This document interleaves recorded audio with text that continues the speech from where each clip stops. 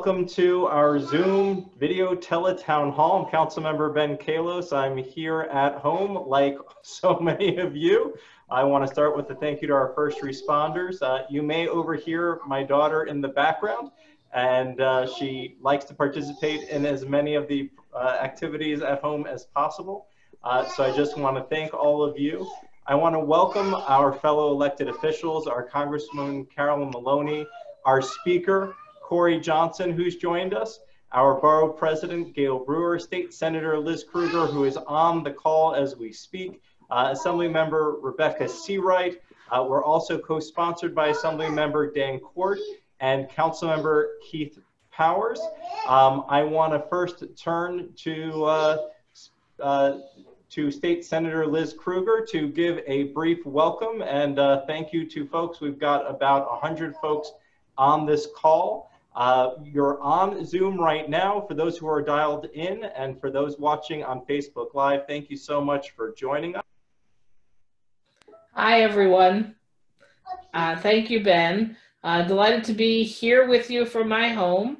I am actually shocked that I figured this system out on my own. Um, and I, as I'm sure all of you are learning how we communicate with the world being under lockdown. And like I talked to my staff about, um, we're, we're there every day. We're trying to be there for you. And you can continue to reach out to our offices and anything we can do, we will help figure out for you. And we do daily updates about changes we are learning about. Um, and we are all waiting to that day where someone who knows what they're talking about announces to us, okay, you can leave your homes again. You can continue your lives. And also shout out to all the first responders who, of course, include the people who go to food stores every day and who make deliveries to people. Um, there are so many heroes and heroines um, throughout the city of New York who are doing amazing work under the most difficult circumstances and I fear that we will have more people to hug and offer to support to after this is over and we learn how many people we have lost that we personally knew during this tragic time. So again, Ben, thank you for hosting this. And I know that we as elected officials are all committed to doing anything we can for our district. Thank you, State Senator uh, Krueger, and thank you uh, for all that you do in Albany. Next up, our leader for the city and the city council, our speaker, Corey Johnson. I just want to thank Corey because uh, he's actually one of the reasons that we closed our office back on March 11th. Uh, based on some of his concerns, and soon after, the, the mayor and governor did follow suit he's been a real leader in terms of getting the uh, council to do what's right, encouraging private sector to do what's right, and for really connecting with international uh, international medical leaders and other leaders to try to make sure we're doing the right things here in the city. Please join me in welcoming uh, Speaker Corey Johnson. Uh, thank you, Ben. It's nice to see all of you. You know, I've been doing so many of these Zoom conferences every day in the midst of so much tragedy and heartache and trauma and grief. Uh, it has been actually really um, like medicine to me to see the faces of so many New Yorkers, to actually connect with people, uh, to see folks that are together, but also to connect with folks that are living alone and that are single. Even though we are socially distancing and we are physically isolated, it's really important that we stay emotionally connected to each other. And these Zoom, these Zoom conferences allow for that. I don't want to speak for too long because I know there are a lot of folks that are going to talk. I know that my colleague uh, Keith Powers is on as well and there are other elected officials. I saw the borough president was on, and I saw Dr. Barbot from the health department is on. I just want to say, uh, just broadly, I'm going to let uh, Dr. Barbot and the health department folks speak about what's happening right now as it relates to the social distancing measures and the good effect that they're having, as well as the building up of our uh, hospital capacity. We're doing those two things at the same time. The thing I want to quickly focus on, and I'll make it, I'll try to make it quick, is we have this crisis. We have the healthcare crisis, the hospitalization crisis, uh, the, the pandemic, and then you have this economic crisis that is happening at the same time where so many people have become imperiled in a short period of time. We're seeing the reports of the State Department of Labor Unemployment uh, Office not being able to answer for folks that have been trying to call in because they've been inundated. We've seen the toll on our small businesses, on freelancers and gig economy workers and domestic workers, and everyone who has lost their economic security over the last few weeks. Uh, we at the council are focused on this. We can't do it alone. Uh, we have to partner with our great allies who are on this call from the state, as well as our federal partners. And I know that Congresswoman Maloney and her staff are going to be on this call or already on this call. Uh, but we need more money. You know, the current fiscal year that we're in in uh, right now, we're projecting uh, at least a two billion dollar loss for the city of New York of the current fiscal year we're in. We're not even talking about next fiscal year on the budget that we're seeking to adopt. That number could be uh, at the low end $3 billion, at the high end much higher. So we're going to see one of the largest economic hits the city of New York has ever seen. And what we need, especially out of Washington uh, in this next stimulus bill, and I know that uh, Congressman Maloney has been working very hard, as well as Congressman Nadler and the rest of our congressional delegation. We need money for localities that make up for the lost revenue, for the lost sales tax revenue, for the lost personal income tax revenue, for all of that lost revenue. I and the council put out a plan a few weeks ago calling for uh, to start the conversation off a $12 billion rescue package to help New Yorkers. We are going to go through this difficult process my North Star in this budget process is to look out for the most vulnerable. We are already seeing major issues with food pantries across New York City. 32% of food pantries have closed across the city of New York, which is horrible. And the reason why they've closed is that the vast majority of them are run by volunteers. And the vast majority of those volunteers are seniors, are retired people who can't leave their homes right now. And so uh, we asked the state and the wonderful state legislators on this call were able to get $25 million in emergency funds for emergency for food pantries and emergency food. The city, we are seeking to get a matching $25 million in the next couple of days to be able to reopen these pantries and to make sure they can hire full-time staff members to make sure we are getting food to the people that need it. At the council, we're focused on what's happening in our homeless shelters, what's happening for homeless New Yorkers, what's happening for domestic violence survivors and victims, what's happening on Rikers Island, what's happening for the most vulnerable right now. That is going to be our North Star because there are going to be very painful, difficult budget decisions that are going to be made over the next couple of months. And we need to make sure we're helping the most number of New Yorkers, especially those that are newly in poverty, that are newly economically insecure. What can we do? The really scary thing about that big number that we're talking about in the billions of dollars is it's going to impact essential city services. It's going to impact all of our city agencies. And we need to be thoughtful about how we handle that. I know the borough president, who is the best, is on this call, and she has been through difficult budgets in the past herself when she was on the council. So I will keep it at that and just let you know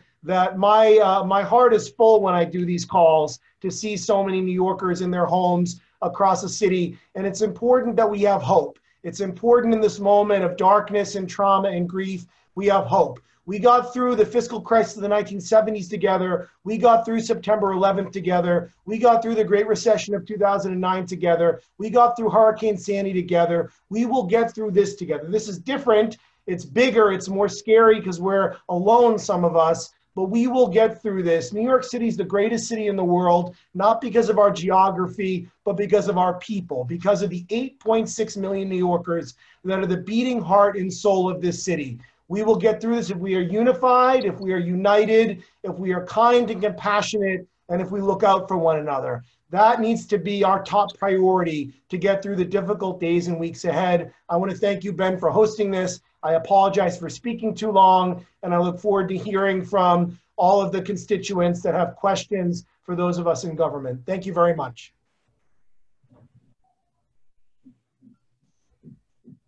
Thank you, Speaker Johnson, for that in-depth update. Uh, and on to our Manhattan Borough President, Gale Brewer. Uh, Thank you very much, Ben. Can you hear me? Yes. Okay, so for, thank you for doing this. Um, it never uh, is too much to share information, and I really appreciate your leadership, and I want to thank the commissioner. There's a couple of things that uh, I want to be hopeful, but there are a lot of people dying. And, and it makes it hard, different from all the other uh, tragedies that I have been through.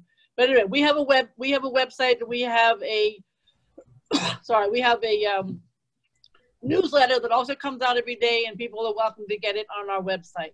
So in our office, we've been doing about five different things that I can focus on. First of all, the very first effort I made was trying to make sure that the garment center manufacturers and people from EDC were connected. That was almost three weeks ago now. But I am happy that there are contracts locally. God knows we need all the uh, surgical gowns and masks and uh, face shields that we can get. And there's a group called Adafruit in Manhattan, which is the only manufacturing I think left, and they are doing some of the shields, as is those in Brooklyn and elsewhere. So I have to say EDC has been very helpful. They screen everybody. We all get tons and tons of, I am from, uh, you know, so-and-so, and I have lots of masks. They all have to be uh, vetted, and they've been doing a great job.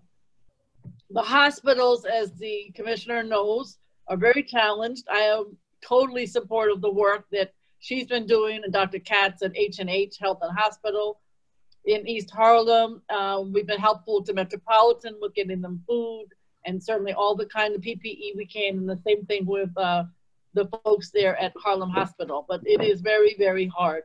Uh, we've gotten them masks, we've gotten them donations, but you can never do enough. The other thing I want to mention is just food, because as we talk about the recovery and all of the jobs, we still don't have this food down. Kathryn Garcia is phenomenal as the food czar, and Kate MacKenzie, but um, the seniors still do not have at the centers the list of to whom their food is supposed to go to. We have been waiting three weeks. So that's something that needs to have to be addressed. Without getting into all the details, our seniors are perhaps the most vulnerable. They can't leave. They can't go to the schools where there are many, many opportunities for um, the food hubs. They have to stay home and they have to have food. I want to thank Fresh Direct because we have gone from the top of Manhattan to the bottom of Manhattan to the NYCHA developments, dropping off 400 packets uh, once a week. We, we do it five days a week. They're 10 pound food boxes and Fresh Direct has been phenomenal. We go ourselves, we have our own van, we take them to different NYCHAs where there's a center uh, location where uh, Fresh Direct goes. Then we move the boxes to different NYCHAs in the area. So great, great, great, great kudos to Fresh Direct. But I still want to say this food has not got a channel. You call 311, you don't necessarily get the food. And the senior centers do not know exactly who they are supposed to be uh, focused on. Um, there's been an issue which I hope gets resolved with food for Passover. Uh, we have obviously a lot of senior centers that there is kosher only, and it is still, I think, at this moment, it has not been resolved, although many, many attempts have been made. That has got to be done. I did spend quite a bit of time today because, as the uh, speaker said we have to think to the future, which is hard when you see um, all the challenges that we're facing. But at some point, there will be a recovery. And the business improvement districts, I had a conference call with all of them today in Manhattan. And they really are very focused on ways in which, between open space, um, relaxing some of the challenges that small businesses face from you know, fines and fees to when they can open their outdoor cafes, etc. They have a long list because people are still going to uh, make sure they're distant from their neighbors, I think, even after this recovery. There's, the whole world's going to be very different. And God knows we need to save as many small businesses as possible. The 125th Street biz, business right now, for instance, can't get employees. So some of the large retails, national chains are open, but the lines are really long because the, the, the uh, manager and the owners can't get anybody to go to work because they're afraid and they don't have enough PPE even in that retail situation. I just want to say people coming out of the hospital, thank God they're coming out of the hospitals. Thank God for our hospitals. But sometimes they go home and they need a home health aid. Or sometimes they go to Isabella or Jewish Home or some of the other wonderful East Side uh, facilities where you can get rehab, but then you still might need a somebody to help you and help you get home and help you get around, and that's a home health aide who does not have necessarily the PPE. So I just want to add that to the list of the people who need, because I can tell you, they're not coming to work if they don't have the proper attire, and they shouldn't. And then just finally, uh, something that uh, Ben knows better than I, but this is going to change the world technologically. We all know that. And uh, he and I and others have been talking about this for the schools and the community-based organizations and the city agencies for a long time. I'm a big, huge fan of uh, Jessica Tisch, who's the new head of DoITT, and all the other people, John Paul Farmer, others who are around the mayor in terms of technology. But I just think this is the time as we recover, because we do need to be optimistic about the future, working with the federal government and the city government and all the challenges that it provides. Uh, we need to figure out what the tech needs are of the city and be very cognizant of them. Obviously, the school kids and the teachers are trying. They tried Zoom. DOE doesn't like Zoom. I understand that. So now we're on to Microsoft Team or Google, uh, some of the Google opportunities that exist. We got to figure all that out. Um, and uh, finally, I just want to give big kudos to Tim Wu, who's a professor at uh, Columbia Law School, and he's working with some of the small companies and nonprofits to help figure out the very complicated federal application for the CARE Act. Again and again, thank you very much, Ben Kallos. Thank you to our borough president. Uh, as soon as we finish with the elected official reports, we're going to get straight to having our commissioner for the Department of Health answer some questions. So I'm going to turn it over to our Congressmember, America's Congressmember Carolyn Maloney, who just passed the federal stimulus, uh, a second stimulus bill, uh, and her she is the first woman chair of the uh, oversight committee, which will actually do oversight over this new multi-trillion dollar stimulus program.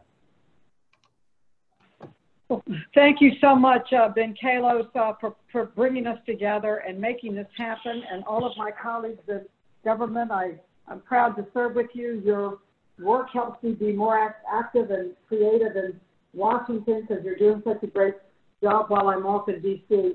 Uh, I must say that these are difficult times, but we are rising to the occasion.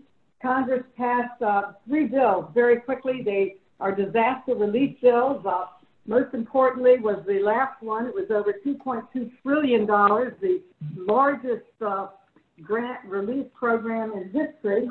And it uh, is really uh, pumping money into people. When we got the bill from the Republicans, it was all about how to save uh, the big corporations, and we made the money go directly to people. First in the form of unemployment benefits, and uh, and then uh, we send it to our hospitals and uh, all over the place. But but uh, first of all, in the unemployment, uh, we will be uh, giving uh, uh, 1,200 uh, a grant, a, a special grant program that uh, will be going to people directly, and then uh, 2,000 the uh, 2,000 uh, 2,400 for couples. Uh, the unemployment insurance, we have a benefit of $600 uh, above the unemployment compensation benefit that the workers get uh, when they're laid off. Uh, for the first time, we will cover not only the self-employed workers, but also the gig economy, the artists and the and the uh, musicians and the others in our, our in our economy. Uh, over 15 billion will be coming to New York directly from this program and, uh, and other areas. For our hospitals, we have a $150 billion program. Uh, billions of it will flow to New York. The, the formula, our hospitals are very happy with it because it reimburses uh, not only with grants uh, for, uh, for research and care, but directly for the care you're providing for each coronavirus uh, patient and uh, it, it's much needed for, for our for our hospitals that are on the front line. New York, no city can handle a crisis better than New York. Uh, after 9/11, Sandy, the crash of 2008, but what we're confronting now is probably the, the biggest uh, challenge we've ever had. Uh, fourth up, and I'm proud to have taken the lead in pushing for mass transit money, and uh, we received uh, over 25 billion nationally, and, and the 4.35 billion that the MTA uh, requested exclusively for them, and and then a very very important program on small business loans. Uh, this, uh, this program is crashing the banks. It's an SBA loan. I, I spoke to the head of uh, Bank of America, and he said he had over 112 applicants in one day. We had only 60,000 in the entire SBA uh, program last year. We're getting uh, over 100,000 at our banks. Our major banks that are SBA loan loan uh, givers are Bank of America and Chase and Wells Fargo. Uh, we are trying to expand that out into PayPal and other uh, Quicken loans and others because the demand is so huge. The demand has so been so huge on this 375 billion dollar program that we are trying to put 200 billion more into it on Thursday with a, another vote on Thursday to extend this program. The PPP program, the Paycheck uh, uh, Fairness Program, it's a, a great program for small businesses. They call it a loan, but it's really a, a, a grant. And you, uh, you get a SBA loan. It can go for two years. You have to keep 75% of your personnel on. 25% of the loan can go for rent and other utilities and expenses that you have. But at the end of eight weeks, if you've kept your uh, people on and paid them, then you get the whole loan forgiven. So it's a tremendous uh, loan. We other we have a larger loan. This is for businesses under 500 employees. We have a, larger loan for businesses over 500 employees, but that also works during this period. And we have emergency appro- appropriations. Uh, uh, you know, 180 million that would range from uh, billions for hard hit airports. We've uh, we've expanded the food program, the SNAP program, funding for child care. Uh, we received uh, 162 million in nutrition for seniors, nearly $1 billion to help homes uh, be heated and uh, face income problems that we're confronting for our less uh, affluent uh, members. One, 1.5 billion for the National Guard uh, to help the hardest hit states. Uh, they are now in New York City. We put up roughly five hospitals in one week. First with the boat, the Comfort boat, the, the hospital in, in Central Park. They put up a 10 hospital in three days. They're converting, of course, the Javits Center and the Billie Jean King Center for the overflow of our hospitals. And uh, a lot of funding for the uh, the equipment. One of the biggest problems we're confronting is the personnel in the hospitals. Many of them are sick, and uh, I push very hard to have a priority uh, testing for for our first responders in our hospitals that that are exposed so much to the coronavirus. And some of the hospitals are now putting them on a priority list to be tested. Uh, but we are working hard, but we're not finished. We're, we're moving forward uh, first with this grant, this uh, Thursday, I'm told, of course, everything's fluid in Congress. The minute they tell you the plan, they change the plan. And in fact, in the uh, in the small business loan program, they kept changing the guidance. They've already changed it three three times, and it hasn't even been out uh, for a week and a half.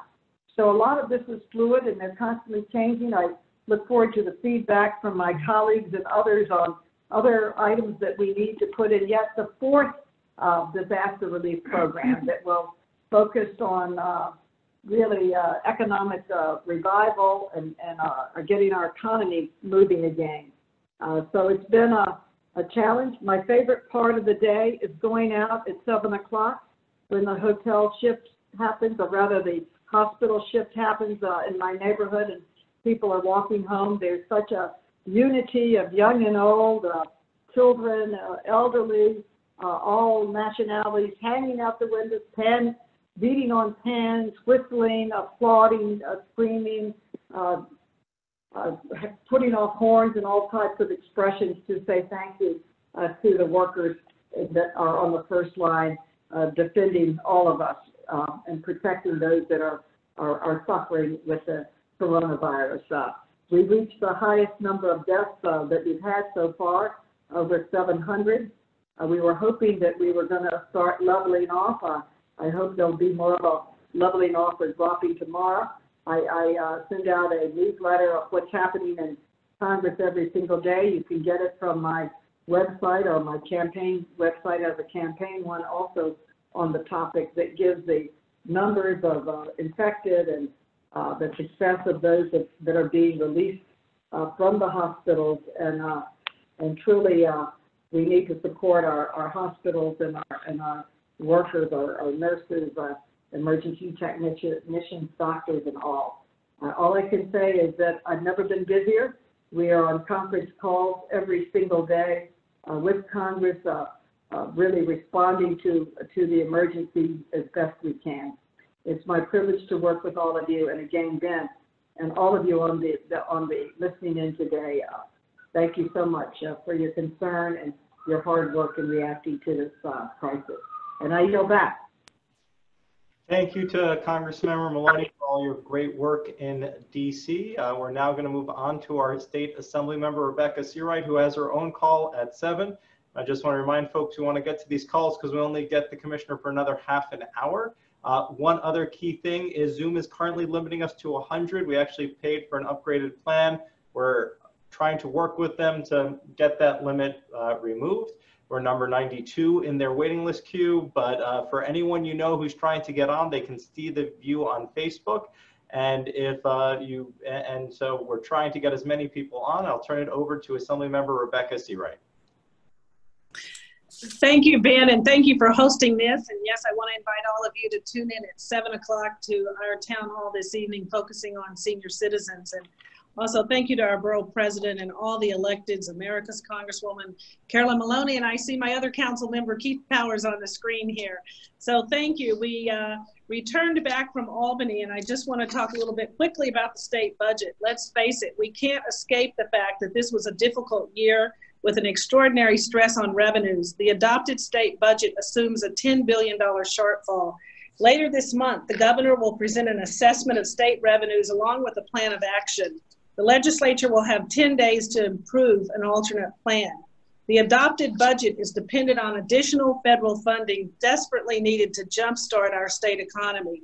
And despite the deficit, the state budget in its current form represents a resolute effort to maintain support for critical initiatives, initiatives that are important to all of us. These include 3 billion for the MTA capital plan, for subway and bus improvements, new statutory bonding capacity for the MTA from 55.497 billion to 91.1 billion, 27.9 billion in education funding.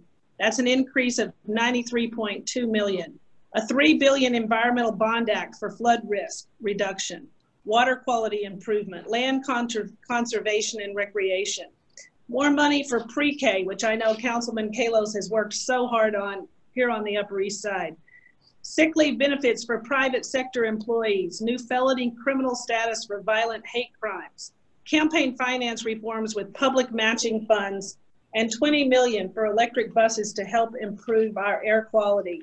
Just today, I was on the phone with the president of Coler Hospital and the Roosevelt Island Medical Center.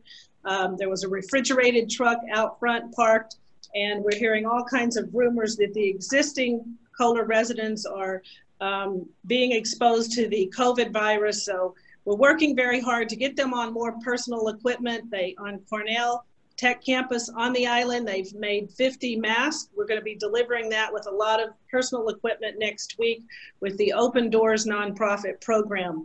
So we're uh, working hard to monitor the situation with Coler on Roosevelt Island. Um, my office is coordinating a food delivery to senior citizens. We need five more volunteers at the Stanley Isaac Center, so please call our office at 212-288-4607 if you'd like to volunteer to leave food outside uh, doors. And I just want to thank you all for tuning in tonight.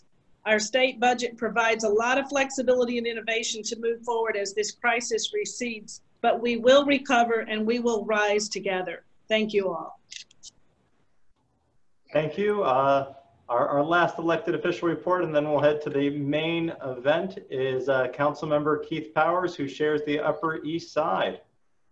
Thank you. I want to thank Councilman Kallos and all my colleagues for uh, all the work you're doing. I know we're all trying to work in our own districts to help everybody out, and thank you for putting together this event. I'm going to keep it really short because I know the Department of Health is the main event here. So I just want to say thank you to everybody. Um, thank you to the Department of Health. They're working so hard, and we really owe so much to them for getting information out and really uh, working with our healthcare first responders.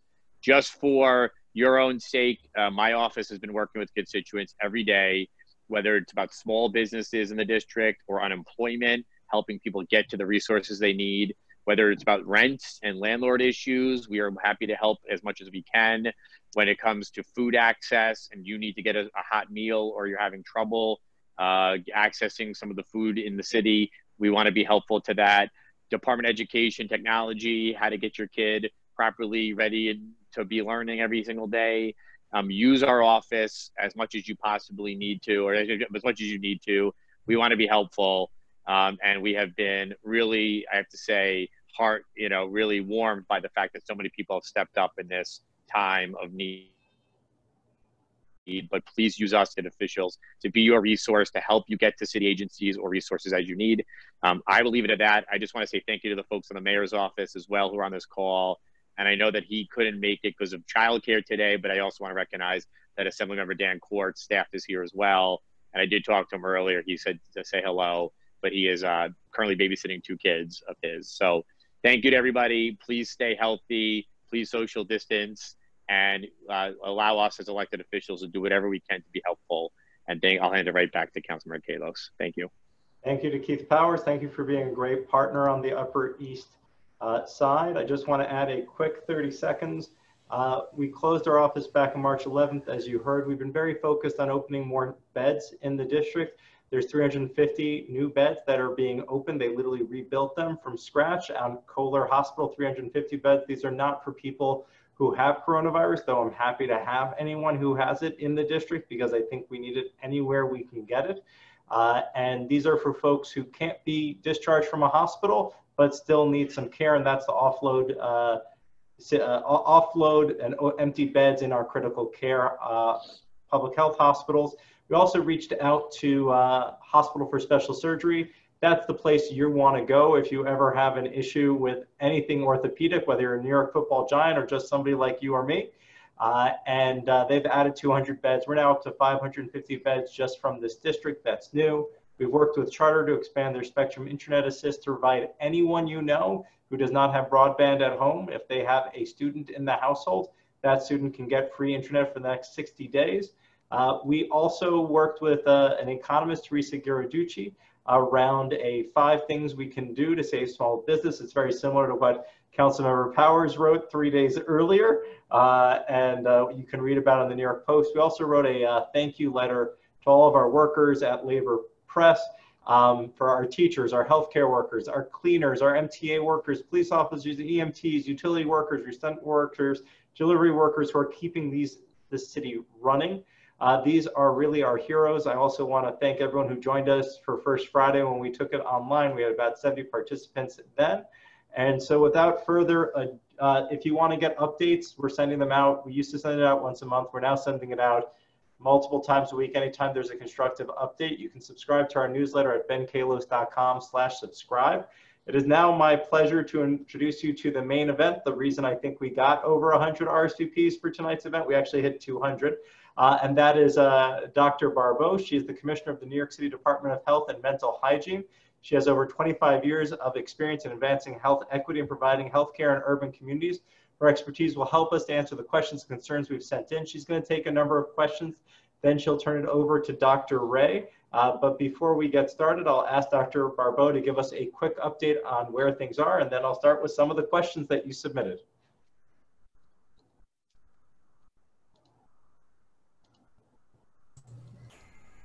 Okay, can you hear me okay? Excellent. Uh, well, thank you very much, Councilmember Kallos. Uh, thank you to uh, Speaker Johnson. Thank you to all the council members on the line and the borough president and other elected officials for your ongoing support and amplification of the messages that we are uh, working to deliver to New Yorkers clearly this is a once in a century event uh, that has tested all of us as New Yorkers um, in every aspect of our lives. And as I was hearing um, various elected officials talk about all that's happening in their districts, all the work that they've been doing, it just reminds me of how interconnected we all are. Uh, and I think to degrees that we probably took for granted before, and that this uh, pandemic is now really highlighting how much we all really need one another, whether, as you know, the mayor likes to say, whether we're in wartime or whether we are in peacetime, we are New Yorkers and we need one another currently where things stand with this outbreak is that we are at over 70,000 individuals who have been tested positive with this uh, virus. The reality is, as I've said in other occasions, that this is a new virus. No one has ever been exposed to this virus, and so no one is immune. And every day we learn something new about how this virus behaves, how it affects people.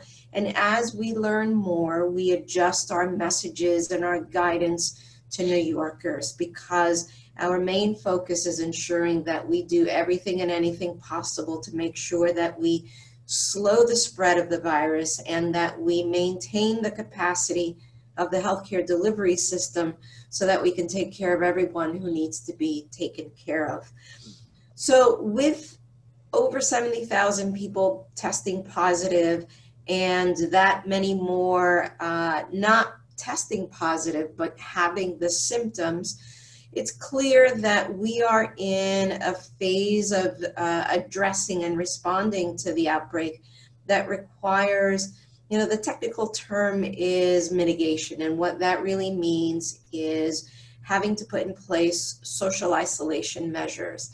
And I really dislike that phrase, social isolation, because we're not asking New Yorkers to separate socially, we're asking them to separate physically. In this time, we need New Yorkers to come together virtually as you all are here, emotionally, spiritually, because this event calls upon us to really dig down deep and figure out ways and be creative as to how it is that we remain connected.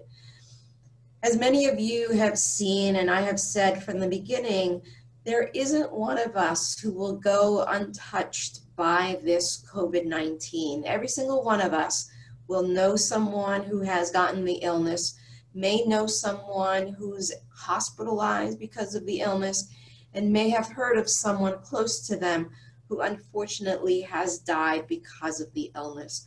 Um, thus far, we are at over 3,000 people who have died because of COVID 19 and tested positive. And the reality is that there are likely very many more people who have died because of this illness, and that we are working to ensure that we count every single one of them because every life lost here is a life too much.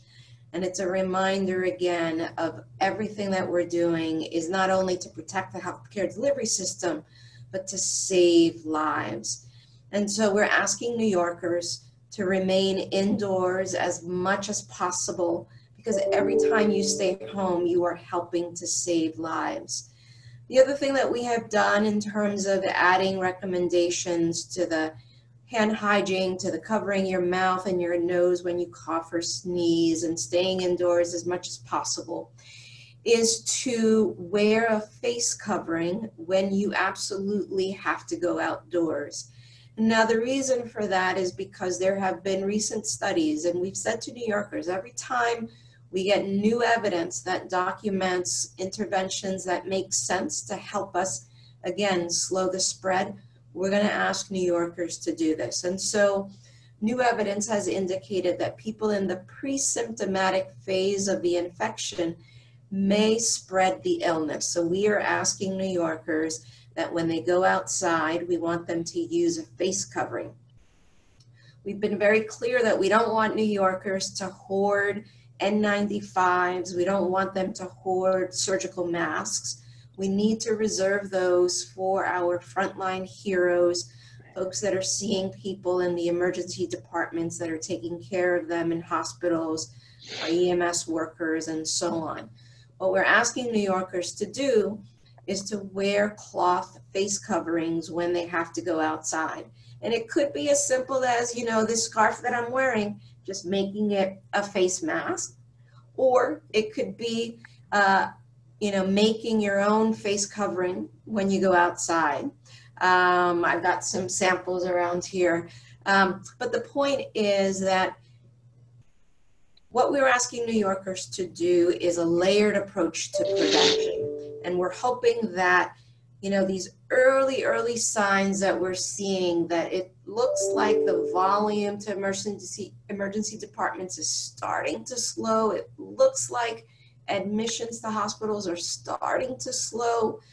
We don't want New Yorkers to think, hey, great, I can now go outside and not use my face coverings. No, the answer is we need to double down on that because we're proving that it works and that it's saving lives.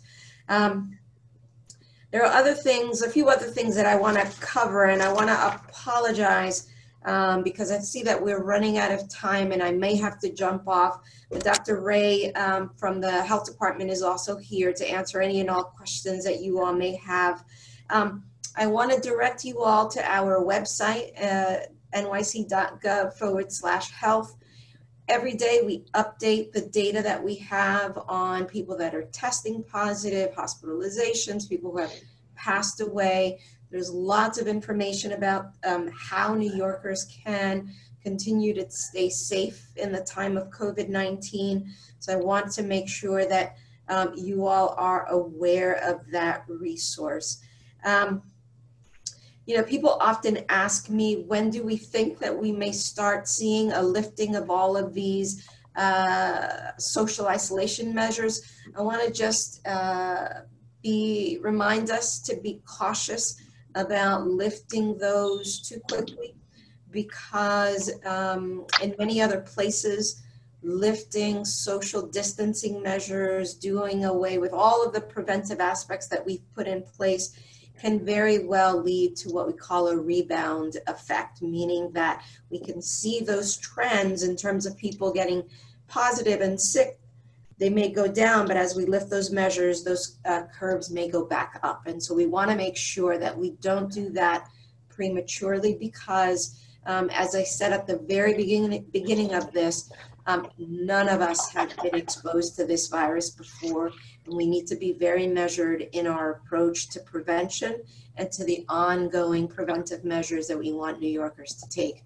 You know, we've said publicly that we think uh, September will be uh, a reasonable time to expect a much greater uh, diminishment of new cases. But the reality is that how quickly we get to the other side of this apex will depend on how aggressively we can adhere to all of the social distancing measures that we have put in place.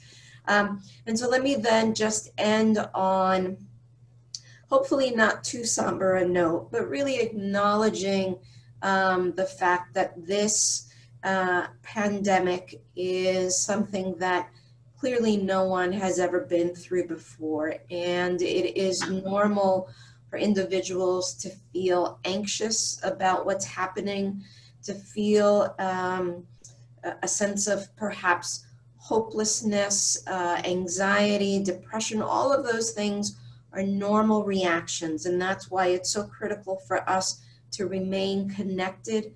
We want people to talk about how they're feeling we want people to share how they are coping uh, during these times of asking people to do um, social distancing. And I want to remind New Yorkers that we have a great resource here in New York City. NYC Well uh, is our lifeline for individuals who need someone to talk to. And so I encourage you all uh, to, you can uh, chat, text, call, NYC Well 24 7, various languages. So why don't I stop there? I think I've got about maybe uh, five minutes for questions. And then, like I said, Dr. Ray can take over for me. Thank you. Thank you very much. We received a lot of questions. We put them all together and it looks like we have seven main categories. So I'm just going to drop into uh, a, a, group on social distancing. I'm going to fire all the questions at you at once. Uh, first one was, what should we do if tenants in our building have tested positive for COVID-19 but are not quarantining? Um, can, can I get COVID-19 from somebody in the apartment next door? Are they allowed to walk their dogs if they wear a mask? What plans do you have to enforce social distancing for people who are not practicing, for example, runners? Conversely, given the importance of exercise, will restrictions be introduced on cyclists and joggers? Are there any enforcement policies for delivery workers to wear gloves or masks when they enter buildings? Similarly, for building service workers, what are your thoughts about taking children outside for walking, uh, especially keeping social distancing in mind, or is it better to keep them at home? And then the last one in this section, is it safe for me to visit my parents in their 70s if I quarantine for 17 days first? Actually, I'll, we'll leave that last one off for a separate group. Okay, um, so all of these are really great questions, and um, so I will answer them in totality, and uh, we will. I think that'll take at least a good five minutes, and then I'll hand it over to Dr. Ray. Um, so, first and foremost, like I mentioned earlier, the important thing here is the layered approach to prevention right? It starts with good hand washing, starts with covering your nose and your mouth when you cough. It then goes to if you're symptomatic, to stay indoors uh, and to wear a mask if you have to go out to seek care. Um, for everybody else, the important thing is when to stay indoors as much as possible, but when you have to go out for the essentials, to go grocery shopping, to um, seek medical care for other conditions, we want people to maintain six feet of distance. And the reason to wear the social, um, excuse me, the face covering is that because sometimes, you know, you can't really predict who it is that's going to be coming within that six foot perimeter. There may be people who are essential workers that just can't um, adhere to that six feet. And we want to add that additional measure of protection. We are not at this point recommending that people wear gloves. Again, the important thing is good hand washing. If you're not close to a water source on a consistent basis, then alcohol-based hand sanitizer is going to be your best friend. We want people to go outside when they have to, and clearly exercise is a part of uh, maintaining our mental health. And so the uh, recommendations that we're giving is that if you're going outside running and you're able to maintain six feet of distance, then you don't have to wear face covering when you go running. And so you may want to choose to wear some kind of bandana around your neck so that when you stop running and you're going into your elevator or wherever it is, you know, you have the flexibility to then put it over your mouth. But again, when you're running, you do not need to wear a face covering. The other thing is, um, yes, we want people to go outside and walk their dogs. Uh, and if you can maintain a six foot uh, distance between yourself and others, you don't need to wear a face covering when you go out to walk your dog. Um, but again, if you can't predict that you'll be able to maintain that six foot distance, then having a face covering is a good way to ensure that you remind yourself of the importance of maintaining that distance. And it's also kind of like a visual cue for those of uh, other New Yorkers who may come in contact with you to say, hey, oh, wait a second, face covering, that's right, I need to maintain six feet of distance. Um, so Councilman, I think that covers the, the vast majority of the social distancing questions that you have asked. Ah, there's one more in terms of the um, compliance with quarantining. Again, we're asking people who, have who are symptomatic to remain indoors for seven days since the onset of their symptoms or three days without a fever and without having taken Tylenol or ibuprofen. And then after that time is over, then they can go back to, you know, going outside in a limited fashion, using face covering, etc.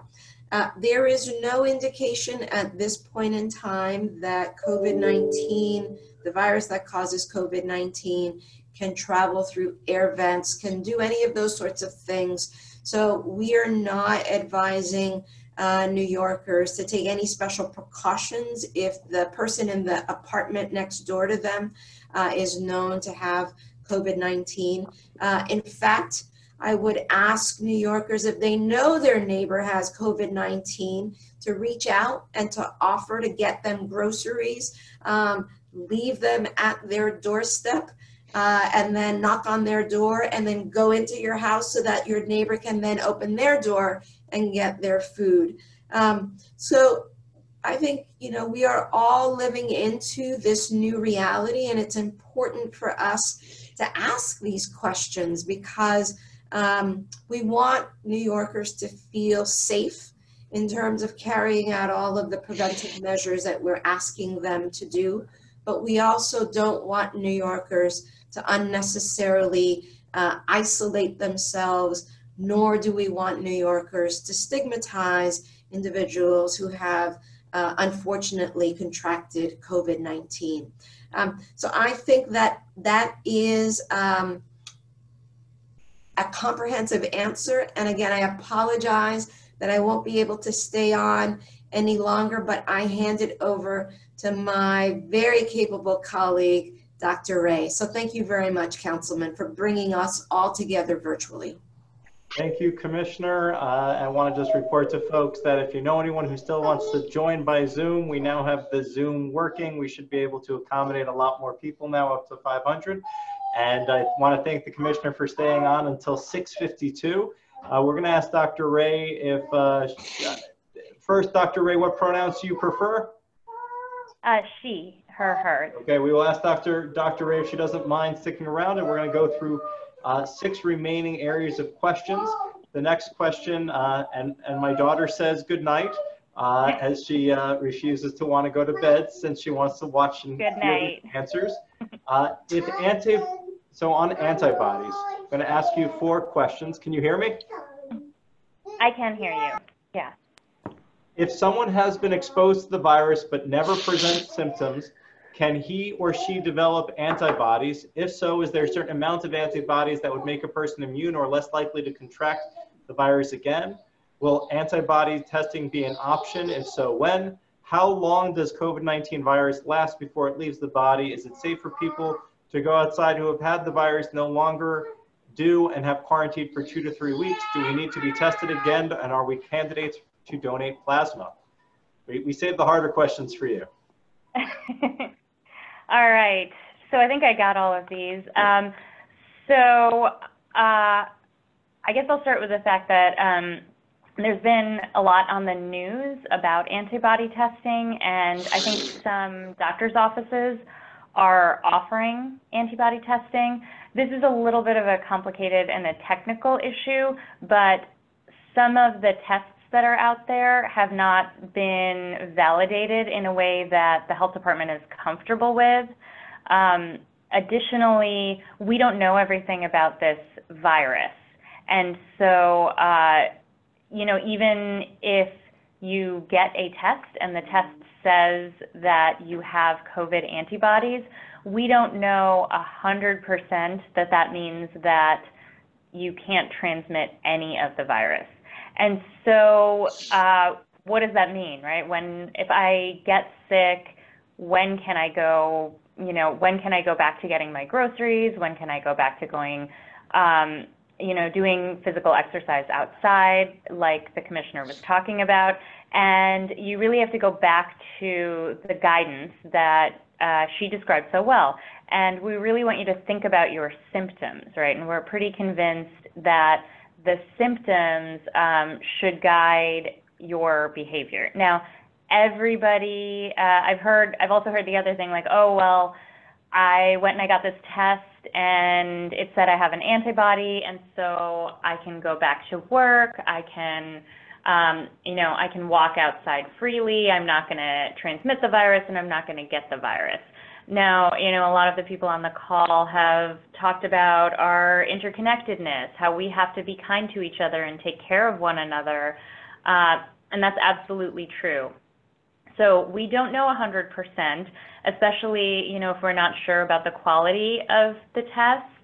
Um, and I'm not saying all the tests out there are not good, but I'm saying we don't know which ones are good and which ones are bad. And for me, that's not enough for me to take a risk with the lives of my neighbors, you know, the lives of um, people's parents who are older, uh, the lives of people with certain medical conditions that um, mean they're more likely to have this, a severe illness if they catch COVID.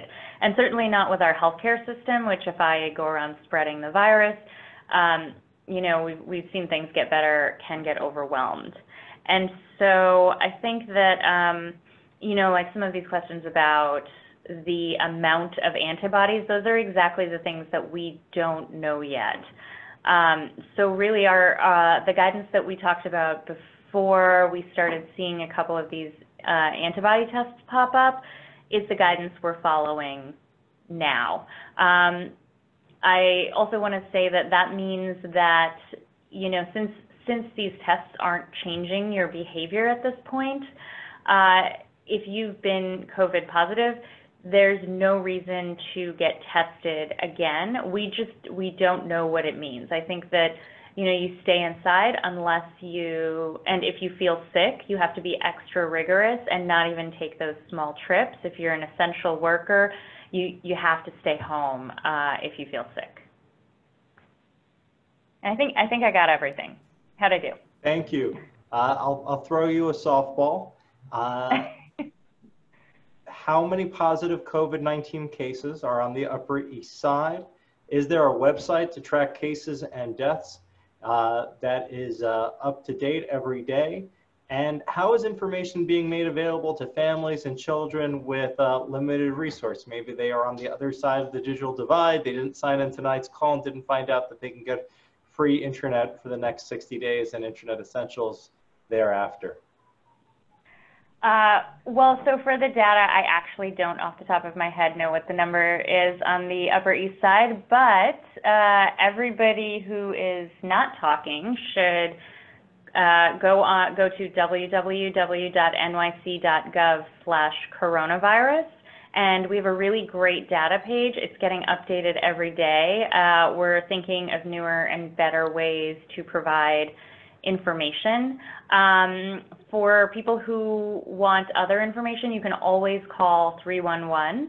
Uh, and I think there's a special line to take care of calls from uh, people who are healthy who are not looking for a doctor. We actually have a whole dedicated section for people who want information about COVID-19. Uh, you can also text 692-692 um, to get text updates about COVID-19 and what the city is doing uh, to combat it. And also sign up for, for internet. Uh, it is it is now uh, seven o'clock, which means it is uh, time for the uh, cheer. So I'm gonna unmute everyone very briefly so that everyone can uh, join me and all of our neighbors in the cheer until 7:01, and then we'll go back to questions. Uh,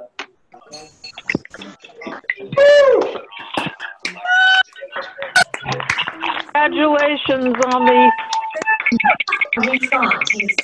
He's gone. Giving him all the time that I could. Thank you. All right, seven o'clock. That's why. Seven o'clock.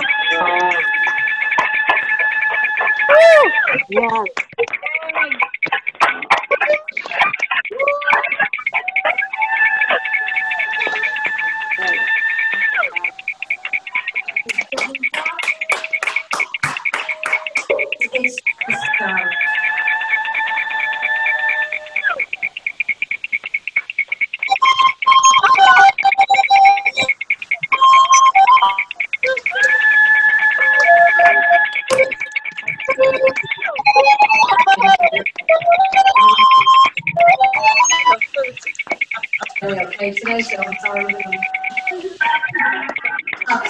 Weird ways for me. right, I know. Wondered where you were. Have all these reminders of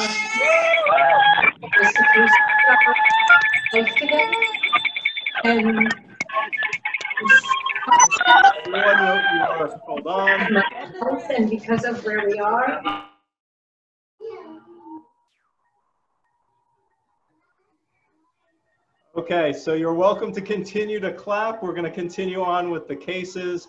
Um, as you can hear from behind me, it's getting louder and louder every day. Uh, let's just unmute Dr. Ray.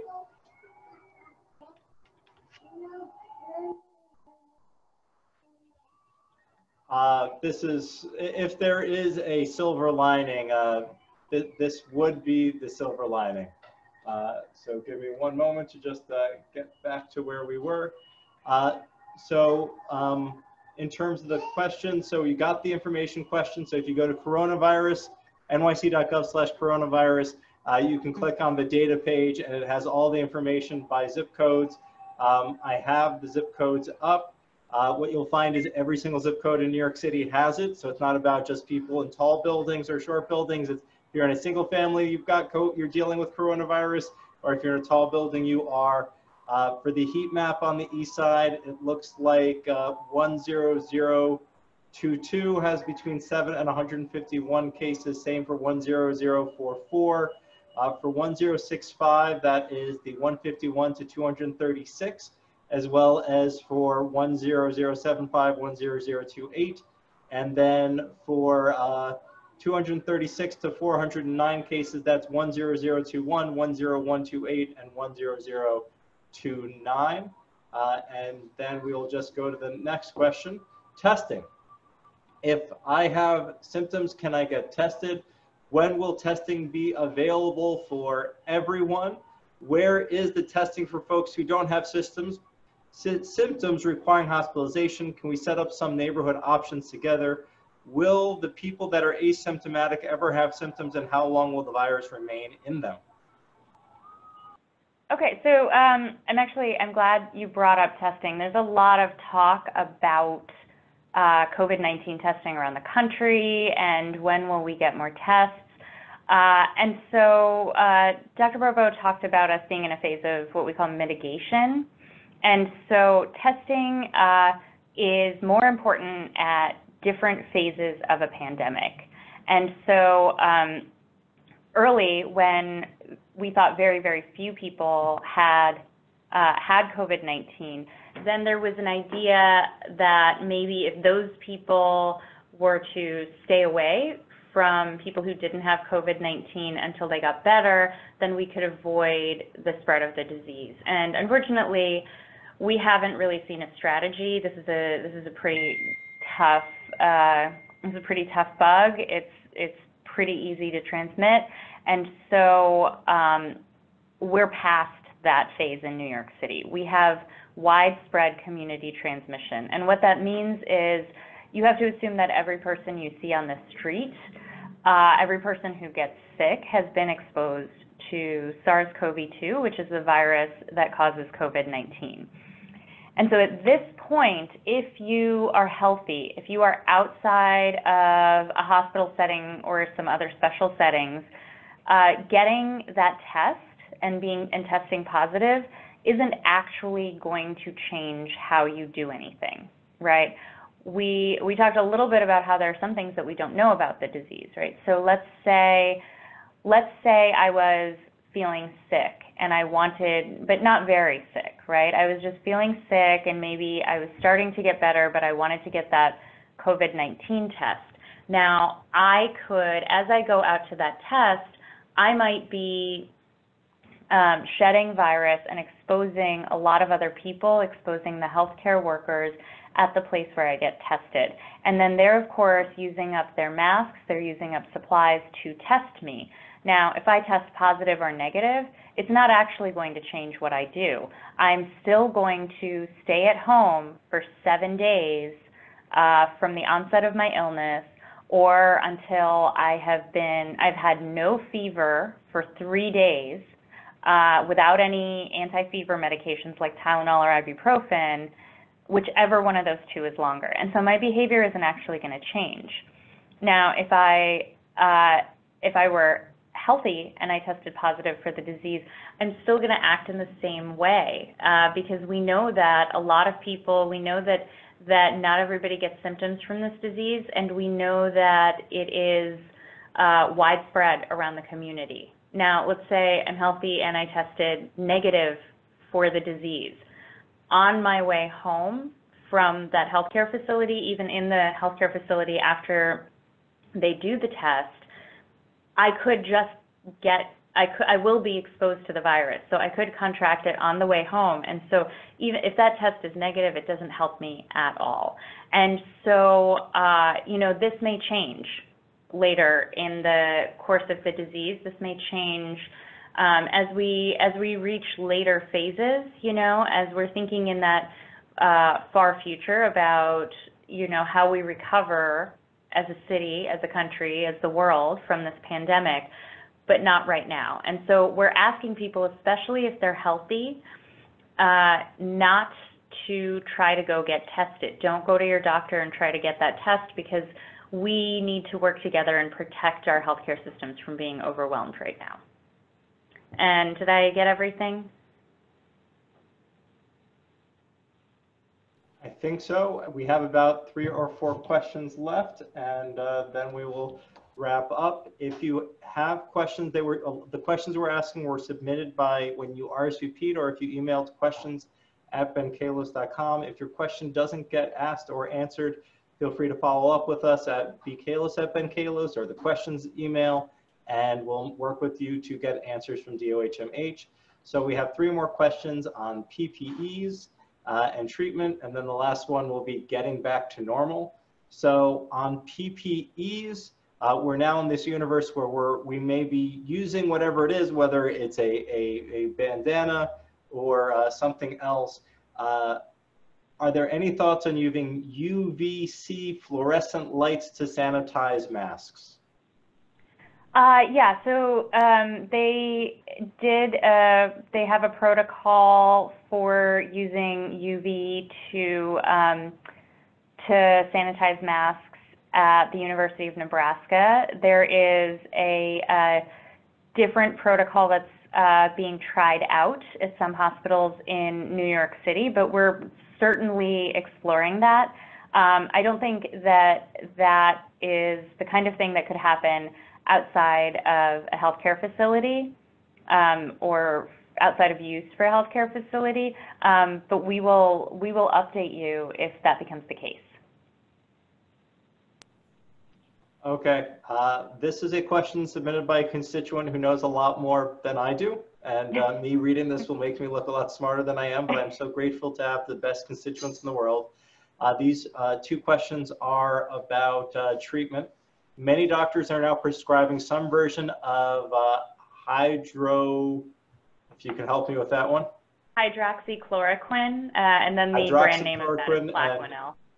As, as, azithromycin zinc to treat coronavirus, especially in early to mid stages before serious lung function has been compromised, which is this combination cannot treat, yet other doctors seem oblivious to this or disparage it, relying on ventilators, which can have up to a 90% death rate.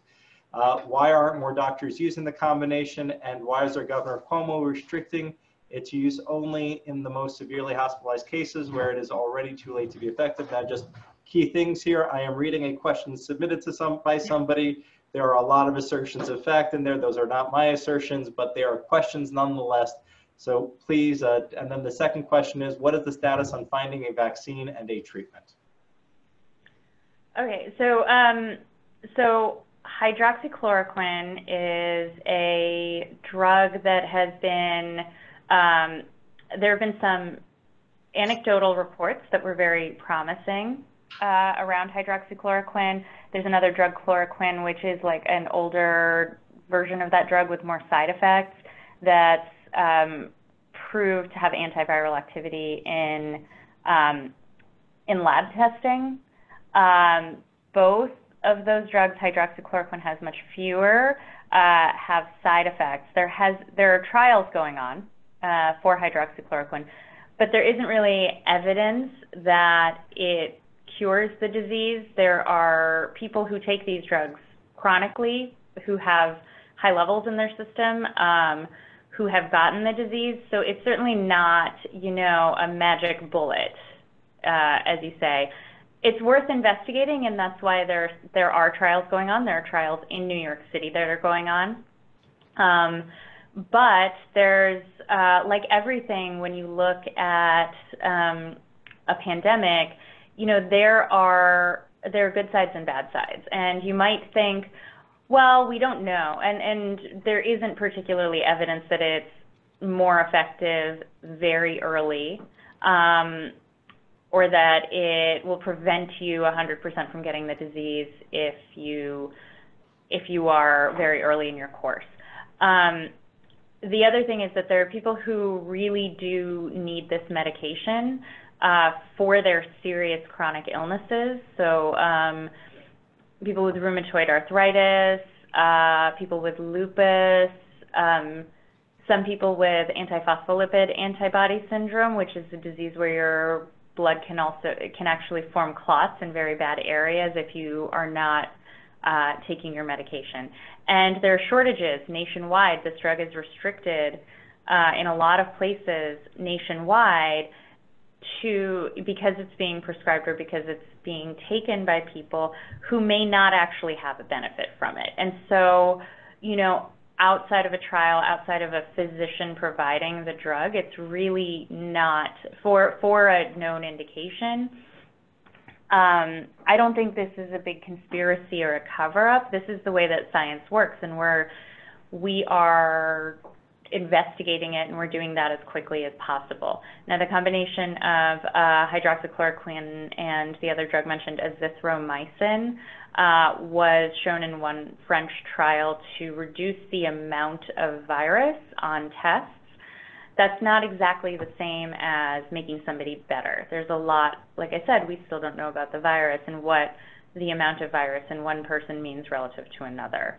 Um, and it was a very small sample. It wasn't, it, it didn't meet all the scientific standards that we use to say something is definitively true. And there was a there was a comment about using ventilators to treat instead of using hydroxychloroquine. And it isn't really, it isn't a one-off of one or the other. Um, people who are sick enough that they need ventilator machines to support them to survive are given ventilators. And um, it isn't, it isn't a matter of we've picked one or the other. Uh, people have to be pretty sick to need a ventilator. And unfortunately, that's why there is a high mortality rate associated with using a ventilator. But it's more that the ventilator is a sign that the person is very sick than that the ventilator is causing them to have a bad outcome. And I think, was there something at the end there that was a little different? I think there was. was uh, how close are we to getting a vaccine? So yeah, uh, I so I um, am not a pharmacologist. I know that uh, I think that there there are a couple ideas for vaccines floating around. I will say that a vaccine, so vaccine is something that you give to a person who hasn't been exposed to the disease. Uh, and so we have to be really, really careful about who gets, who is given a vaccine. We have to test a lot of people before it can be deployed widely. Um, some vaccines are viruses that are not as strong, uh, you know, that are that we've tried to sort of knock out so that they can't make people sick. And if we, uh, like again, we go through a lot of testing and we're very, very careful about it. And so you wouldn't want to give somebody a treatment who wasn't sick that could actually make them sick. And so, um, you know, we talked a lot about, you know, a year ago, I was on these kinds of, uh, I was having these kinds of conversations about the measles outbreak in New York City. And measles is a disease that is, you know, very close, it's close to 100% preventable. But that's because we have measles, the measles vaccine is so safe because it's gone through this testing. And that the same kind of testing, even if it's speeded up, is going to have to happen for SARS-CoV-2, the virus that causes COVID-19. Our uh, last question, and we'll hopefully be wrapping up very quickly, uh, is just a, a, series of questions about getting back to normal. So how do we get back to, to normal, whatever that will be, without a vaccine? Um, something that seems right here is just, is it safe for me to visit my parents in their 70s or a person who might be otherwise compromised if I quarantined for 14 days first? Uh, when, when is it likely businesses will reopen and people will be able to go outside again freely? And what are the long-term implications of the crisis for the healthcare system in New York State? I just want to answer a little bit of that last one, which is uh, in the 2000s, there was a, a hospital closing commission that closed thousands and thousands of beds throughout the state as we tried to get to a place where uh, we were seeing just as many patients as there were and um, my belief, and I may be wrong, is that we need to get to a place where we actually have surplus and we have a model where hospitals are operating where they're at 50 or 60% capacity and the rest of the wings are down and they're not really using it, but it's there for surges. But um, I'm not an expert. So I'll turn it over to the expert to, to tell me why I'm wrong and also give us some answers. Um, okay, well, I can I can start with the, the hospital question since you brought it up. I mean, so my uh, my day job when we're not in the middle of a pandemic is that I work in the Office of Emergency Preparedness and Response at the City Health Department. So I love any plans that talk about surge surge planning and redundancy of systems. Um, I think that the healthcare system is certainly going to survive this. They've done, a, I mean, our healthcare workers and and the strong system that we've built through years and years of preparation and working together between the public and the healthcare system and the government has um, has been paying off. And so I think we're going to see innovation come out of this.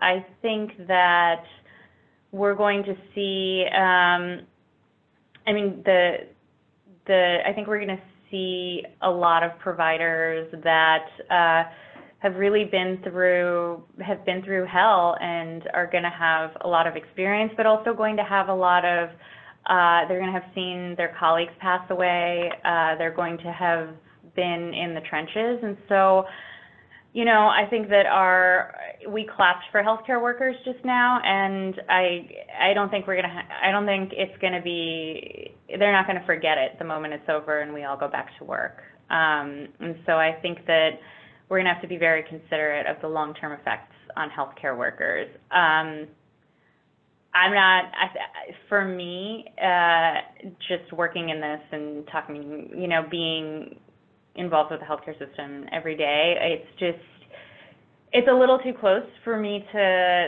to look to the future right now.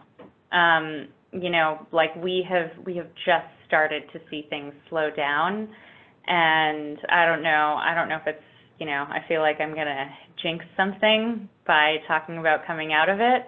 Um, but yeah, I think I, don't want to. I don't want to make a prediction about things that'll happen.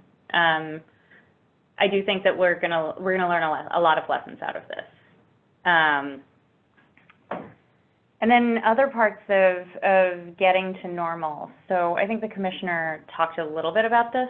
Um, September is something that we had floated around uh, when we were several weeks ago when we were really starting about uh, starting to talk about staying home. But the, I mean, the real answer of when we're going to go back to normal Monday on Easter. I am going to say I can't be sure about a lot of things. I can be sure it is not going to be on Easter. um, it so it really depends on all of us. You know, we're all interconnected. We all have to take care of each other. We have to take care of our healthcare system, and you know, it'll. It's not. It's not so much a matter of preventing, you know, trying to keep one or two people safe. It's really about all of us working together to make this uh, this pandemic unfold in a way that we can handle it in New York City, all of us together.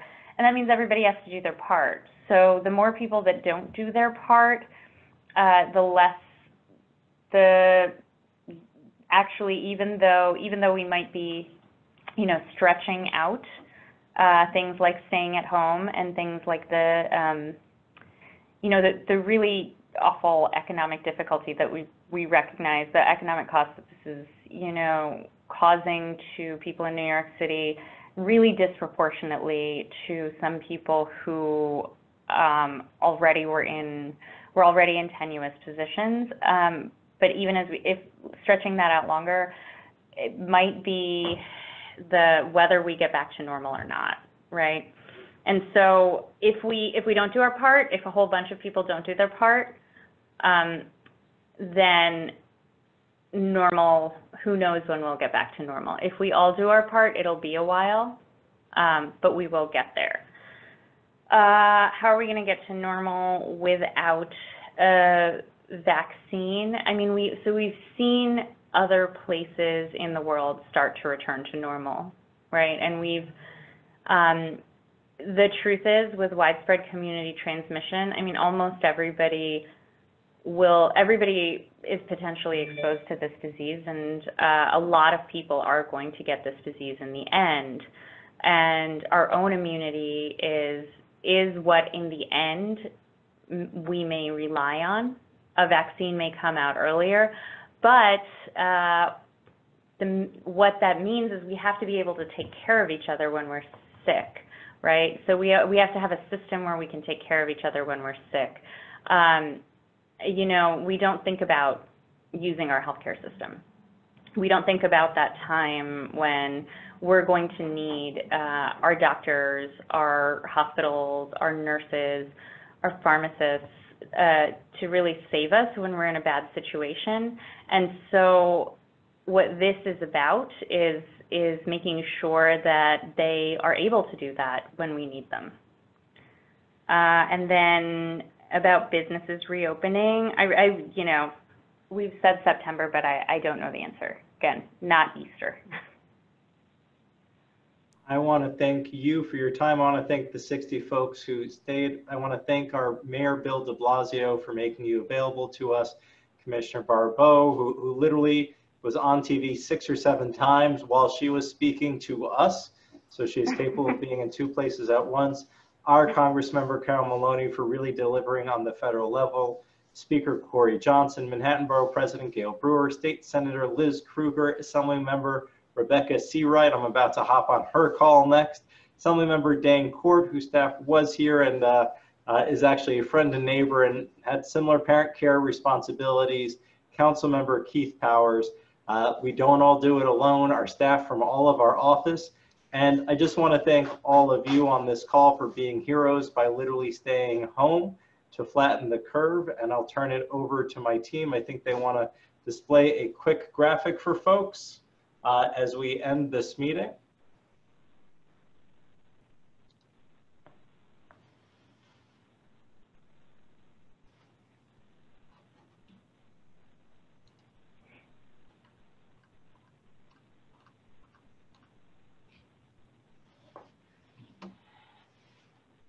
I believe that graphic is going to, there we go. So thank you all. Have a great night and uh, we'll be in touch again for more information. Uh, you can email us questions at benkallos.com and uh, we hope to do it again. If you have any suggestions, let us know on how we can make this better. Again, thank you to everyone who participated in tonight's call.